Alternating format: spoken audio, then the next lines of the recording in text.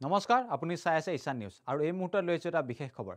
উত্তৰ প্ৰদেশৰ কুশীনগৰত সংঘটিত হৈছে এক আজব ঘটনা। মছজিদৰ পৰাই আৰক্ষীয়ে উঠাই নিলে দৰা কন্যাক। সন্দেহ এয়া লাভ জেহাদ। কিন্তু পিছত গম পালে এয়া লাভ জেহাদ নহয়। আমি জনাব বিচাৰিছোঁ এই মুহূৰ্তত এই বিশেষ খবৰ।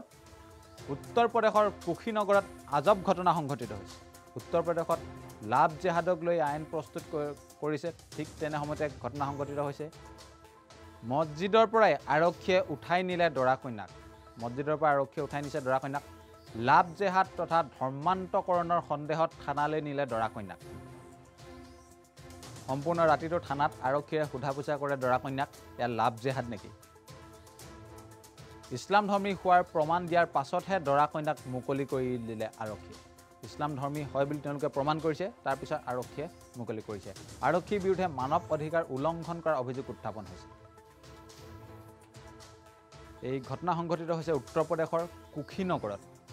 এক আজব ঘটনা সংঘটিত হৈছে। মছজিদৰ পৰাই আৰক্ষীয়ে উঠাই নিছে দৰা কন্যাক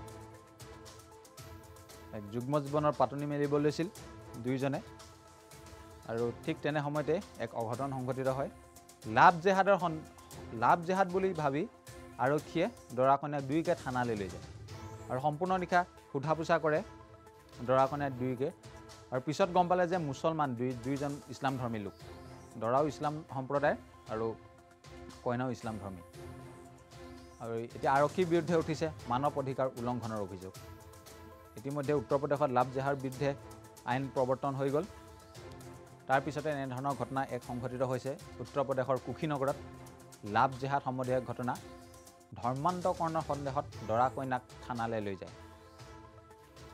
সম্পূৰ্ণ নিশাটো আৰক্ষীয়ে সোধা পোছা কৰে দৰা কন্যাক যে তেওঁলোক লাভ জেহাদ হয় নে নহয় আৰু অৱশেষত গম পালে যে এয়া কোনো লাভ জেহাদ নহয় আৰু তেওঁলোকে প্ৰমাণ দিলে যে তেওঁ দুয়োগৰাকী ইছলাম সম্প্ৰদায় অৰ্থাৎ ইছলাম ধৰ্মী লোক আৰক্ষীৰ বিৰুদ্ধে মানৱ অধিকাৰ উলংঘন কৰাৰ অভিযোগ উঠিছে এক বিশেষ ভাষ্য আছে আমি শুনাব বিচাৰিছোঁ মন্তব্য শুনাব বিচাৰিছোঁ